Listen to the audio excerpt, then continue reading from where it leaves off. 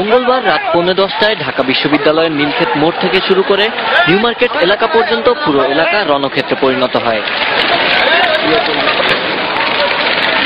ঢাকা বিশ্ববিদ্যালয় ও ঢাকা কলেজের শিক্ষার্থীদের মধ্যে দফায় দফায় ধাওয়া, পাল্টা ধাওয়ার ঘটনা ঘটে।